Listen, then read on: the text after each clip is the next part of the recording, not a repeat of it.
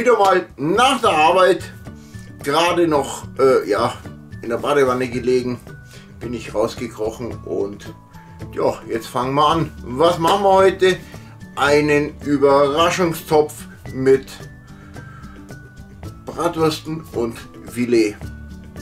Ja, ich war vorher noch kurz beim Penny beim Shoppen, habe ein bisschen was eingekauft und warum Überraschung?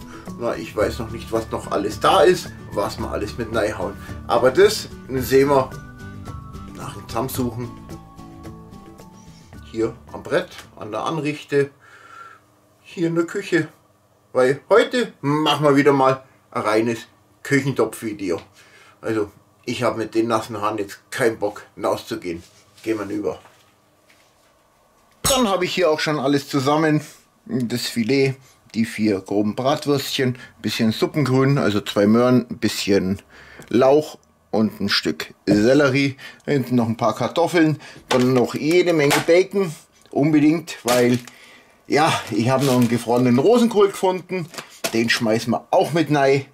Salz, Pfeffer, Paprika, Tomatenmark und wieder meine äh, Gemüsebrühe da und Würstchen und Filet schneiden und mit dem Bacon zusammen ab in den Topf. Und in der Zwischenzeit, wenn das dann brutzelt, schneide ich dann alles an Gemüse klein. Ja, und dann geht es auch weiter. So Leute, und da ich hier ja eine richtig schöne konstante Hitze habe, werde ich auch gleich anfangen, den Bacon zu brutzeln. Erstmal ein bisschen Öl rein.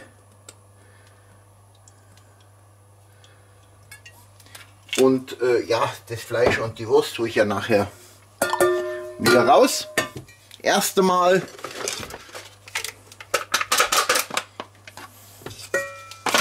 Ja!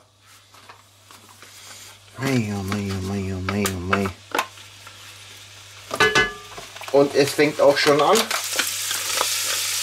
Also wenn er mich fragt, zur Induktionsherd ist die geilste Hitzequelle für den Dutch Oven. Muss ich leider gestehen. Maximum Heat und ruckzuck da.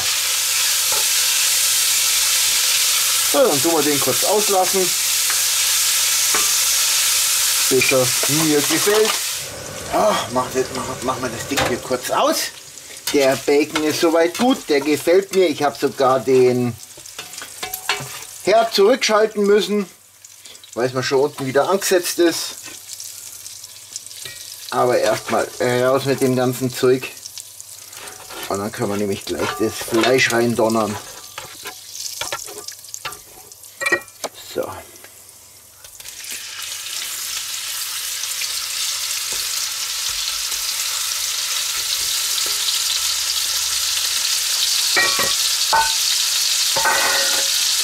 Und hier kommt jetzt gleich ein bisschen Pfeffer drüber. Bisschen Salz, wenn denn noch was drin ist. Ne, da ist nichts mehr drin. Oh Mann.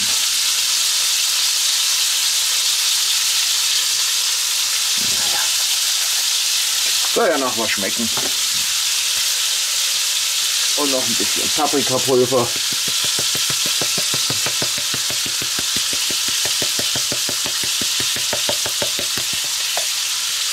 Ja, und so lassen wir es jetzt ein bisschen anschmuggeln.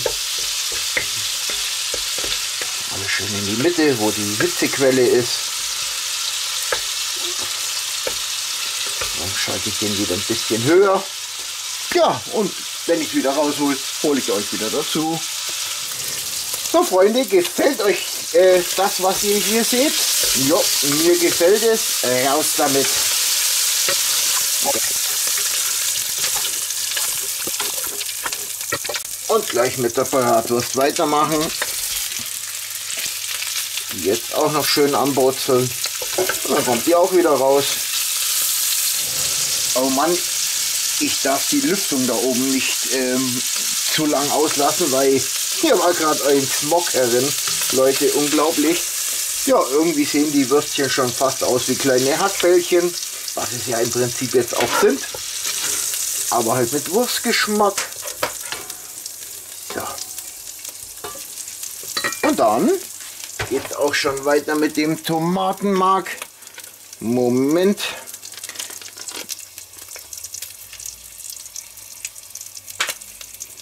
Wir wollen es auch sauber ausgepresst haben.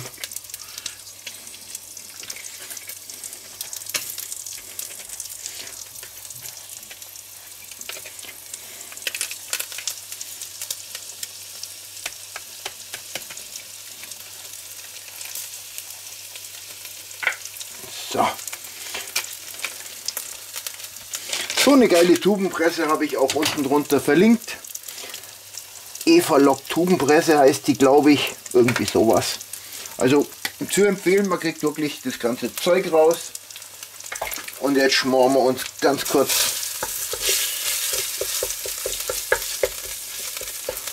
das Tomatenmark an, bevor wir das Gemüse mit rein donnern. Ja, eigentlich reicht das ja schon. rein mit dem Zeug. Alles ziemlich klein geschnitten heute. Dann schmoren wir das jetzt alles noch mal schön an. Ich tue noch ein klein bisschen Öl hinzu.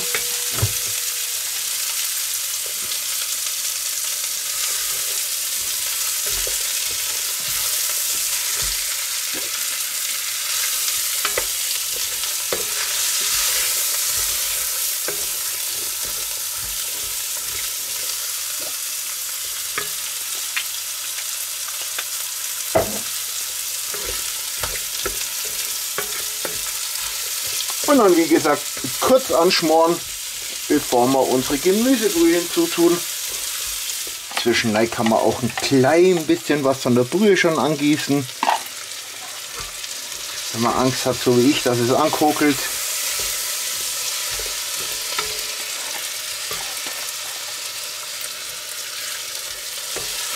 Nebenbei habe ich immer wieder ein bisschen was zugegeben. Das muss jetzt reichen. Dann schütten wir mal gleich mal die restliche Brühe rein. Ob ich noch mehr Flüssigkeit brauche, sehen wir nachher gleich. Dann kommt das ganze Fleischgedönse rein. Fleischwurst und Bacon. Und natürlich der Baconsaft. So, und was ich jetzt mache, Jetzt mache ich nämlich gleich den Rosenkohl mit rein.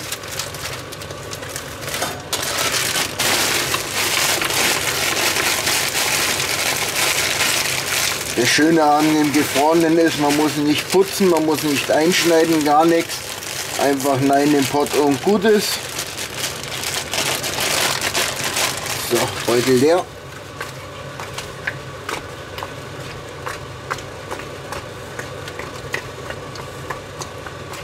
Ja, ein klein bisschen Wasser könnte ich vielleicht noch hinzugeben.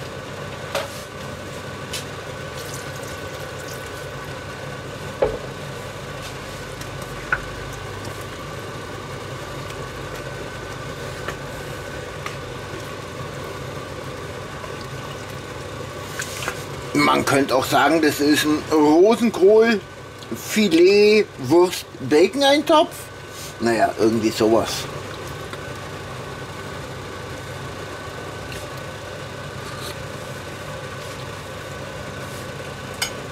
Wow. Hm. Geschmacklich mache ich jetzt noch mal gar nichts mehr.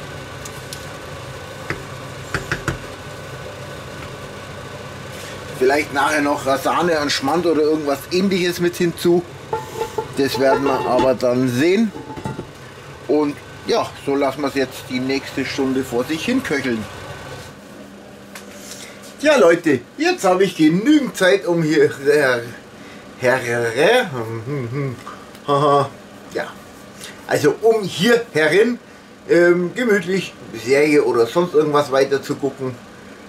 Der Topf brodelt so ganz genüsslich vor sich hin. Wenn er zu hoch ist, kann ich ihn einfach runterschalten. Also sehr bequem. Warum macht man was mit einem Topf in der Küche? Na ganz einfach, weil man es kann. Und ähm, es schmeckt aus dem Topf einfach anders. Und im Topf ist es bekanntlichermaßen ja egal, ob die Hitze vom Kohlen offenem Feuer oder aus dem Backofen rauskommt oder vom Herd. Also, es ist ja im Topf drin das Essen. Topf wird warm, wunderbar. Ich habe es hier herin schön warm, noch wunderbarer und naja, es wird bestimmt wieder welche geben, wo sich dran mokieren oder äh, weil es wieder zu flüssig ist.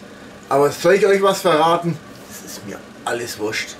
Ich mache so wie immer, so wie ich das möchte.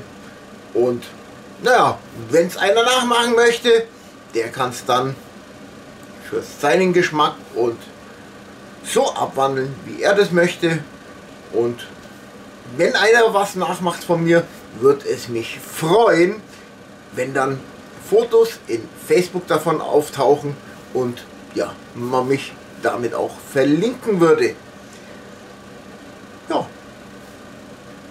Wäre eine geile Sache, würde mich freuen und köcheln, köcheln lassen, brutzeln lassen, schmoren lassen, wie man es auch immer nennen will.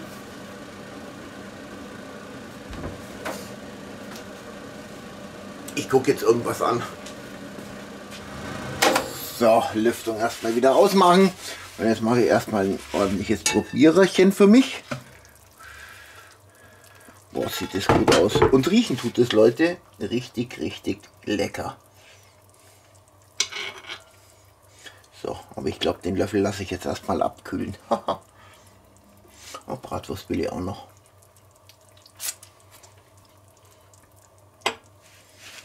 So. Na, dann wollen wir mal.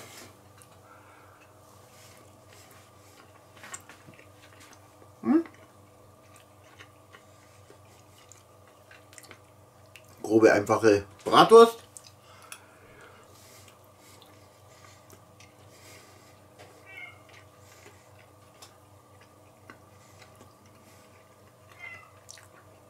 Filet, fein zart lecker. Schauen wir mal, ob der Blumenkohl durch ist. Rosenkohl.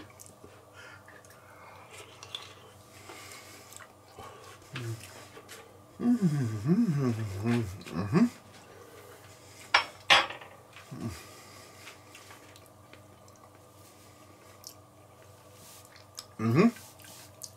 Rosenkohl schon leicht matschig, aber genau das wollte ich. Wenn er nicht ganz matschig gewesen wäre, wäre es auch wurscht gewesen, aber ja, macht und weg ist er. Lecker. Ja. Ja, dann halte ich jetzt das Essen eigentlich bloß noch warm, bis Schatzi nach Hause kommt. Und dann können wir essen und dann hören wir ganz einfach noch hin, was die zu sagen hat dazu. Und ihr kriegt natürlich noch ein schönes Tellerbild. Mhm. Oh, ja, ja, ja, ja, ja, ja, ist das Zeug schwer. Was hast du gebastelt? Was Leckeres. So, zum einmal noch. So einen großen Topf. Ja. Wer kommt noch? du? Oh, oh, Rosenkohl. Und Bacon. Einmal davon. Und schon wieder so viel Bacon. Ja. Darf ich? Und Würstel, oder was? Ja, richtig.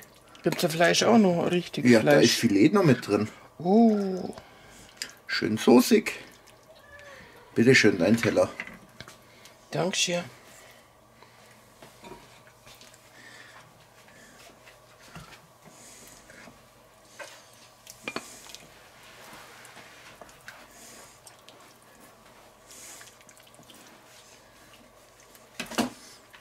Und genau so, wenn es aussieht, habt ihr 100 Punkte. Jawohl. Ich tue jetzt essen und nachher sehen wir uns nochmal zum Fazit. So Freunde, dann kommen wir mal zum Gesamtfazit. Also, Söschen hätte man definitiv etwas dicker machen können. Und äh, ja, die Zusammenstellung ist sehr lecker mit dem Rosenkohl da drin. Also kommt schon richtig gut. Aber irgendwie hat das gewisse extra gefehlt. Das kleine i-Tüpfelchen. Das hat mir heute gefehlt und ich weiß nicht, was ich vergessen habe. Schatz, was meinst du dazu? Schulterzucken. Das ist aber wenig. ist heiß? Es ist heiß und ich bin noch am Essen. Ja. Also, wie gesagt, irgendwie das kleine i-Tüpfelchen, das hat heute gefehlt. Zu viel Bacon. Nein, so viel Bacon war das gar nicht. Tja, vielleicht weiß oder hat von euch jemand eine Idee, was da gefehlt haben könnte? Ich bin bis jetzt noch immer nicht drauf gekommen. Ja, Was hast du denn da reingewürzt? Salz, Pfeffer, Paprika. So wie sonst bei, bei den Essen auch bei den Topfgerichten. Naja, vielleicht hätte ich doch ein extra Gewürz noch mit reinhauen sollen. Also salzig ist gerade nur durch den Bacon. Salzig ist gerade genug, okay. Vielleicht noch ein bisschen im Pfeffer, aber Hm. sonst. Ich weiß es nicht. Ich weiß es echt nicht. Das kleine i-Tüpfelchen fehlt. Fertig. Aber ansonsten die Zusammenstellung Sehr lecker. sehr lecker. Einfach nachmachen, ausprobieren. Und äh, auch wenn er das in der Küche macht, Leute, das ist völlig legitim. Und ja, dann schauen wir mal, was es als nächstes gibt. Ich sage mal hasta la vista und tschüss, bis zum nächsten Mal. Und Däumchen nicht vergessen.